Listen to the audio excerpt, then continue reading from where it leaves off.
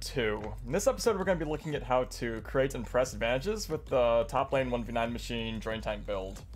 So, looking across at the enemy team, we notice Nasus, Kayn, and Ryze. And this is practically ideal, because their mid top, their top side and jungle combination is really weak early and will be for quite some time. It takes a long time for Nasus and Kayn to get on their feet right, and their mid lane is also not a roamer. So this is going to let us play with extreme confidence and really get those early advantages going.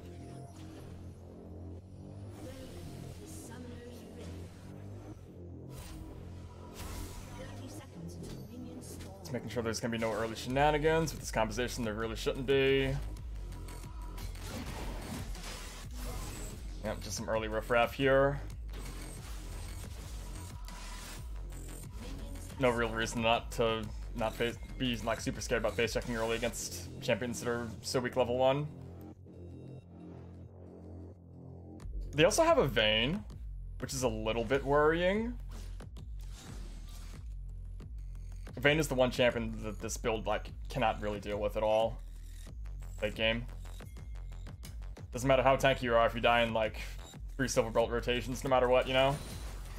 Okay, so we're into the lane here. We're just looking to like We are also very weak, so we're basically just chilling until level 3. Just taking what chances we can get to peck at him. Trying not to shove the wave super hard, letting it build up. Just trying to set up a slow push.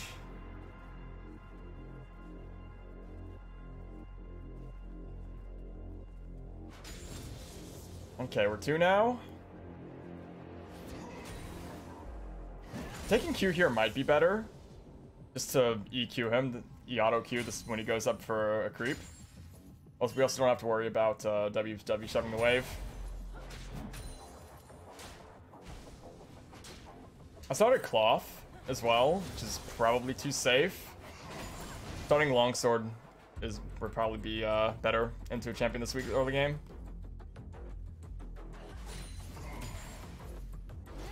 Yep, he steps forward, we, we retaliate. Trying not to let him get anything for free.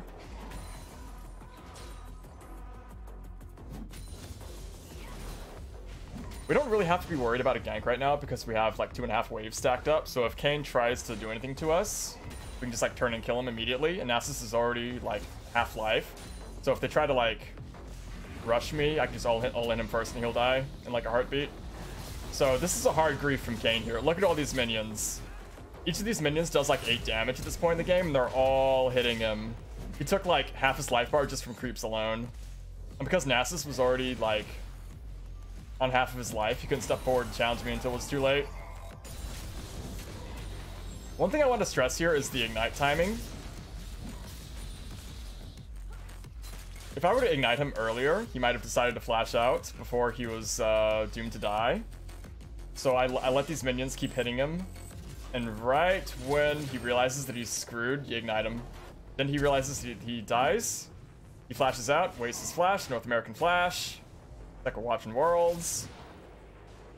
Just gives gives me free first blood. At this point, the game's already over.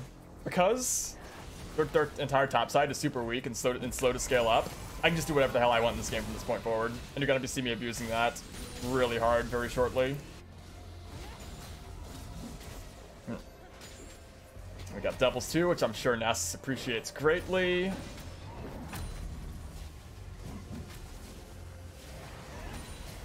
It's tough for us to do too much under, under to him under the turret yet. So he's gonna TP, he's gonna back and TP now. We need, we need to do the same thing. Back, get our Kindle gem, TP back, start building up that CDR.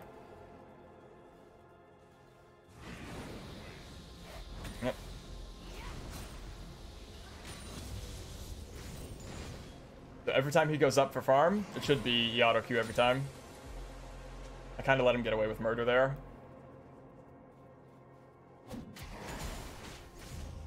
Just like that.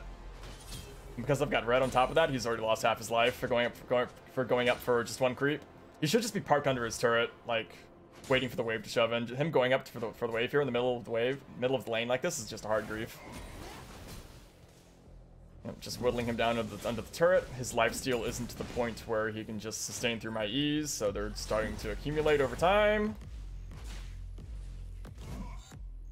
When you're when you're pecking at people under the turret like this, I wasn't. I'm, I don't think I'm doing it like. I don't think I'm aware of what I'm doing, but see how the turret shoots and then has a cooldown time before it can fire again.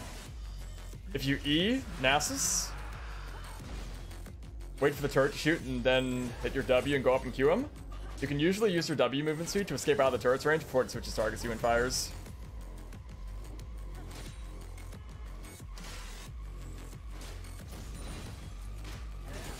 He's already got to make a bad recall here because we've been pecking him so much. Kayn's here again. We're not afraid because we're level 6 and they're both level 5. He's just trying to help Nasus get the plus 12 on the cannon creep here. Going up and using your ultimate to scoop him away from the turret there is a really effective way to get some free damage on him because we, we want to shove him back and make him take a bad recall right now.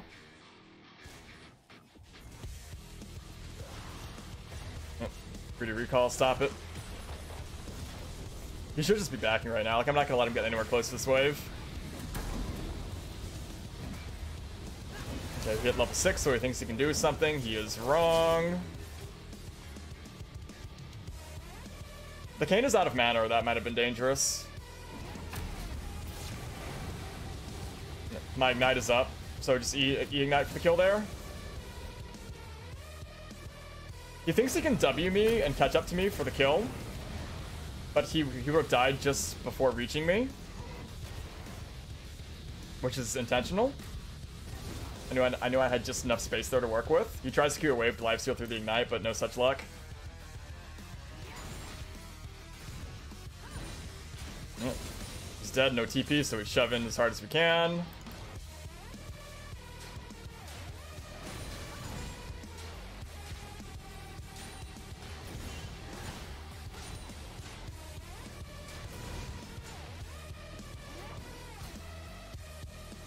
So, you wouldn't be wrong to recall here, but I wanted to press my advantage even further.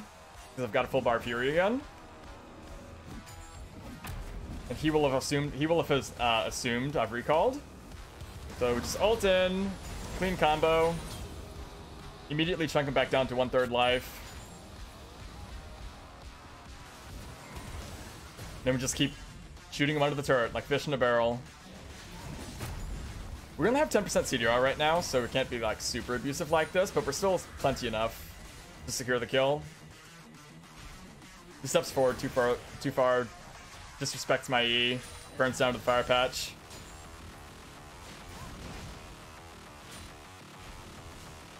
Thank you, Riot Games. Let's get another free plate here. And now we got a big recall. Coffee Caulfield's Ionian. This poor guy's already dead.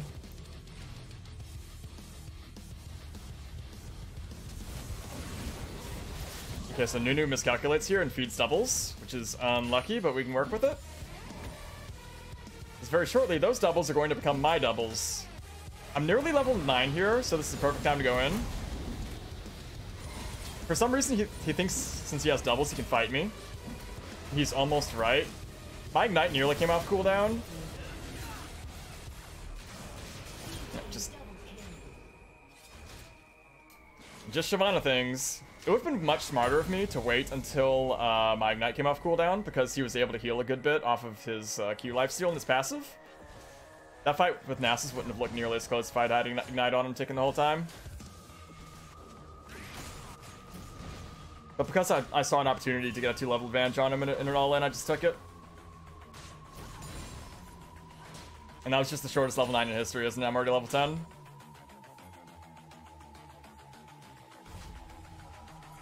Proxy the wave. Get one plate on the way out the door.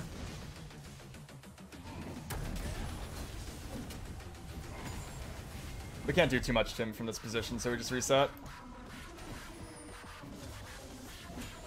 And this is a massive buy. Now we have the DD. And if we weren't strong before,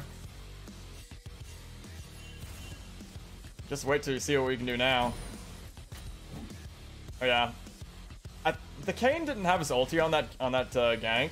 If he had, I might have died, but I think I would have been able to waste uh, have enough time getting that back up and at least take him with me. What I did here was griefing. Like I shouldn't have done this. This is really bad. Look at the wave state. It's pushing into me. But there's absolutely no reason for me to for me to do what I just did. I could just like have the wave chill here, force him to come up for farm to stack his Q, and then punish him from there when I have more room to chase him down. But, but because I have DD and I've just gone mad with power, I just like run at him and chunk him. Which is 110% the wrong thing to do. That's why I'm Diamond XD. So. Stop his recall. We can still do a lot of damage to him from this position. E him again, walk up to the wave, Q the wave for Fury. Gives us just enough for another E. You can start to see how abusive the 40 CDR is with the E base damage. We've done enough that he's just not com comfortable walking up. I lied. One thing I want to point out here is that at this stage in the game, he stacked his Q to the point where he can just ignore my Q poke or negate most of it or the entirety of it. If this matchup goes like even, it can turn like really bad for you since you can't generate the three puts to deny him on. He can just like cue, Q the wave and, and keep himself permanently topped off. But fortunately, Kayn gifted us the free game. I probably should also have left this turret live for a little while longer. But the rest of the map's getting fucked right now, so I kind of want to make sure I get the first turret plate, first turret gold. From here, the, the absolute play is to go to get Rift Herald and then Rift mid. Get even more plates. But I'm low diamond trash, so I didn't think about that. So that's a Kayn. He's level 7. We eat those. 100 to 0 in one combo. And from the, from this stage of the game, like his entire top side just belongs to me permanently. Like, oh, this is just mine. Use the rest of your ulti to, to, to, do as, to do as much damage to Nasus under turret as we can. You don't really have to be afraid of Ryze, who's also having a very bad game. We finally forced three people top lane to deal with us, but Orianna's got us. They couldn't have chased me down. I could have just like walked away, but because she's here, we don't have to just continue to push this advantage. Make Nasus spend as much time farming on a turret as possible. Cards are mine. They'll give us most of, most of our Fury back. And Nasus is so desperate for farm at this point that he's just going to throw his life away here in a second. Ah! Poor guy. He tilted. And because we have DD, we don't care about turrets. We can just scoop this guy out easily. Solid NA flash. Lulu, like, nah, that's not even close to being saved. I can just chill under the turret for like 15 seconds. There's no escape.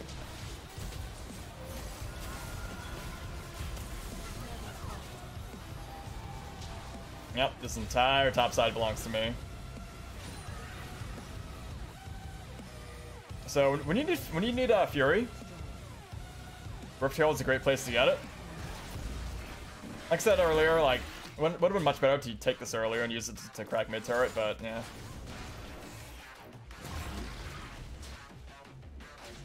Never said it was a perfect game, I just said it was really damn good.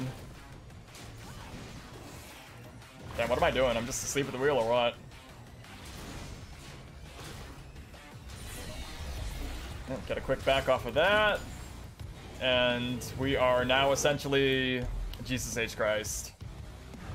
Look how fucking strong we are. Nasus is farming, we don't like that. We didn't say you could do that. Some reason, he's, he's just tilted, and doesn't back off when he sees the TP. Yep, these people just aren't a threat to me anymore. I thought I thought he would like keep keep walking in this direction. I could hit both, but he wants to, he really thinks he, he like really wants to fight me for some reason. we don't have to dive this guy. We can just back out and E him from range. And that's the FF. So, my team kind of smurfed, like hard smurfed this game, but even if this and this wasn't a blowout, I think I would have been able to 1v9 this game pretty easily. As long as the Vayne didn't have like two items at this point. And I'm, I'm almost sad that it was such a stomp because I wanted to like extend this out for further. Get even more like like stupid far ahead and fed. But uh yeah. The major takeaways from this game if you see a team comp like this in solo queue, you should probably just dodge the game. Like, this is probably, this is almost certainly never going to end well with this much hard scaling on your team. You can't just, like, draft hard scaling and expect people to, like, play patiently and prefer power spikes and play it properly in a, in a disorganized environment. One of these guys should have dodged. So, in review,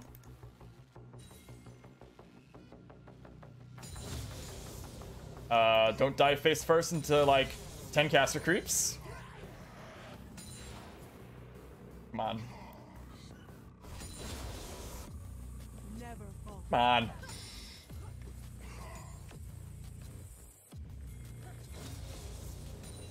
Yep.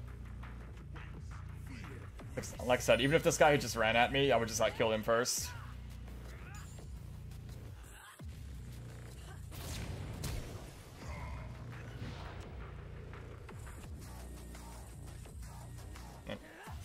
Don't fight in the stack waves, number one.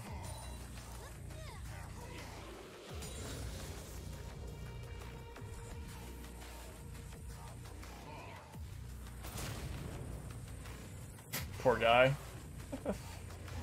yep.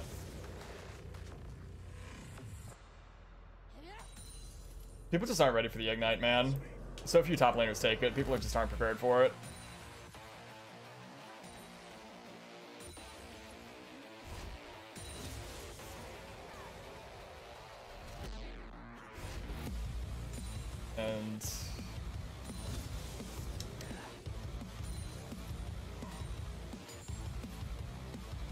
Probably should have waited for this Ignite cooldown.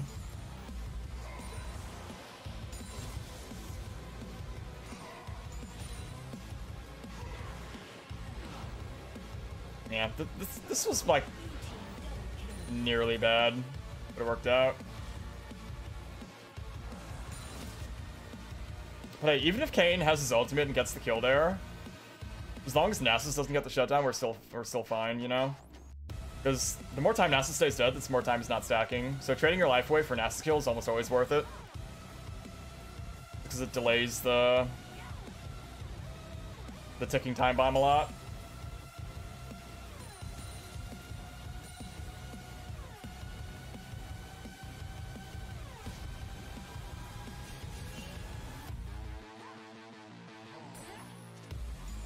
And the last thing is, where's, where's that freeze I ruined? Here it is. Yeah, don't do whatever the hell this is. This is stupid. Like, even if I'm looking to all-in him here, I like I can just uh, keep the wave here. He has to walk forward for it. Gives me all this room to, to run him down with with my red buff. And, uh, yeah, that's about it. See ya.